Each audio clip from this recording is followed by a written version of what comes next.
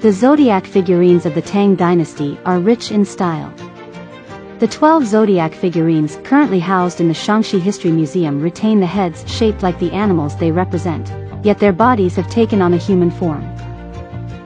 They are draped in the wide-sleeved robes popular during the Tang era and stand erectly on circular platforms. Their heads are slightly raised, expressions solemn, resembling the dignified scholar standing in court.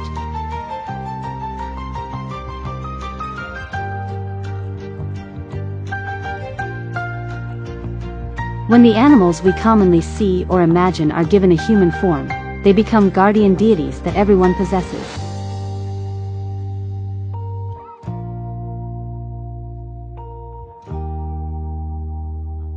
Regardless of the period in which mythological tales are set, the goal of animals in cultivation is often to attain a human form. Yet, compared to other animal deities that often cause chaos, the 12 zodiac signs are particularly down to earth. They might even seek retribution if one of their kind is consumed.